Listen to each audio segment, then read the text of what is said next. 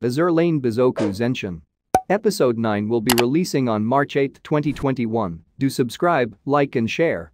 For more fast animation info. Guys don't forget to like share and comment on the video and do follow me on Instagram see you guys very very soon, bye.